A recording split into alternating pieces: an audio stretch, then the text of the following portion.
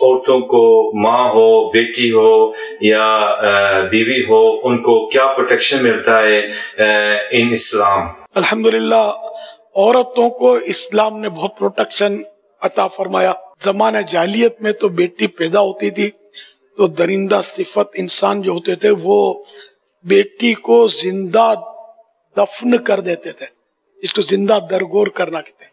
तो इस्लाम ने इनको बुलंद मकाम अता फरमाया। और बेटी के जितने फजाइल हदीसों में मैंने पढ़े हैं, बेटे के नहीं पढ़े। बेटियों के फजाइल पर मबनी फरामीन मुस्तफ़ा वसल्लम पेश करता हूँ। नंबर एक, बेटियों को बुरा मत समझो। बेशक वो मोहब्बत करने वालियाँ हैं। नंबर दो, जिसके यहाँ बेटी पैदा हो और वो उसे ईजा ना दे और ना बुरा जाने और ना बेटे को बेटी पर फजीलत दे तो अल्लाह पाक उस शख्स को जन्नत में दाखिल फरमाएगा। नंबर तीन, जिस शख्स पर बेटियों की परवरिश का बोझ आ पड़े और वो उनके साथ उसने सलूक यानी अच्छा बर्ताव करे तो ये बेटियाँ उसके लिए जहन्नम से रोक बन जाएँगी। नंबर चार, जब किसी के यहाँ लड़की पैदा होती है तो अल्लाह पाक फरिश्तों को भेजता है। जो आकर कहते हैं, अस्सलाम वालेकुम अहलल बैत यानी, ए घर वालों तुम पर सलामती हो। फिर फरिश्ते उस बच्ची को अपने परों के साय में ले लेते हैं और उसके सर पर हाथ फेरते हुए कहते हैं कि ये कमज़ोर जान है, जो एक नातुआ, यानी कमज़ोर से पैदा हुई है। जो शख्स इस नातुआ जान की परवरिश की ज़िम्मेदारी लेगा, कयामत तक अल्लाह पाक की मदद उसके शामिल हाल रहेगी।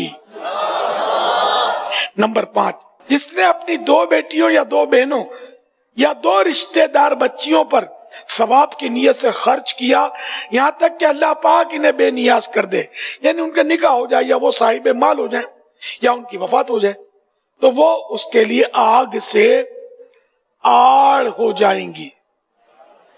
तो अल्हम्दुलिल्लाह, औरत को तो इस्लाम ने वो प्रोटेक्शन दिया है कि बस इस्लाम ही का हिस्सा है ज़ाहिर, और कौन दे सकता है? इसी तरह औरत, बहन बनती है तो बहन की भी आपने भी फजीलत सुनी, रिश्तेदार बच्चियों की भी फजीलत सुनी। माँ के बारे में हदीस पाक में फरमाया कि माँ के कदमों तले जन्नत है, और जिसने माँ के कदम चूमे उसने जन्नत की चौखट को बोसा दिया। अच्छा तो माँ की फजीलत जो है वो बहुत ज़्यादा है। बाप से भी ज़्यादा है। अब इसमें यह कि खिदमत में माँ का पहला दर्जा और ताजीम में बाप का पहला दर्जा। तो यूँ बारह लेके माँ बाप दोनों की अहमियत है। अल्हम्दुलिल्लाह। अल्लाह करीम हमें इस्लाम की तालीमत पर और प्यारे आका सल्लल्लाहु अलैहि वसल्लम की सुन्नतों पर अमल की शहादत बख्शे। आमीन।